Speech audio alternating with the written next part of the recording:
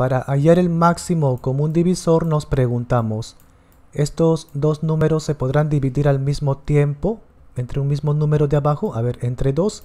Sí, porque terminan en cifra par. Ambos se pueden, entonces sí, 60 entre 2 es 30, 12 entre 2 es 6. De nuevo, 30 entre 2 es 15, 6 entre 2 es 3. Acá ya no se pueden entre 2. Entre 3 sí se pueden ambos, entonces sí. 15 entre 3 es 5 y 3 entre 3 es 1. 5 y 1 ya no se pueden dividir entre un mismo número, ¿verdad?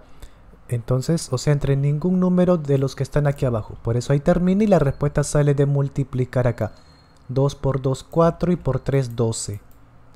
Respuesta.